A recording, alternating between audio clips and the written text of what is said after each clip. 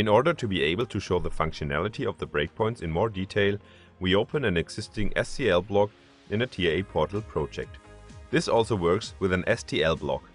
To illustrate the exact function of the breakpoints, we have opened the corresponding data block next to the workspace where you can see the SCL code. The first step is to go online on the PLC system. In the next step, the breakpoints are activated. Please note, when a breakpoint is reached, the CPU changes from run to hold. The outputs keep their respective status and are no longer updated.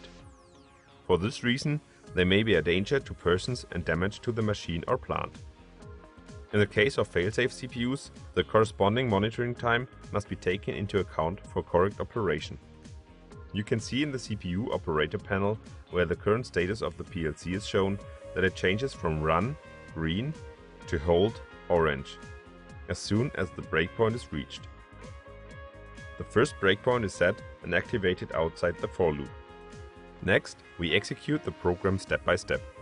Here, the actual values of the variables outside the for loop can be observed directly in the work area, and the actual values of the data block in the block itself. The second breakpoint is set and activated within the for loop. The program section can also be worked through step by step and the actual values can be observed accordingly in the data block. The program section can also be executed step by step and the actual values can be observed accordingly in the data block.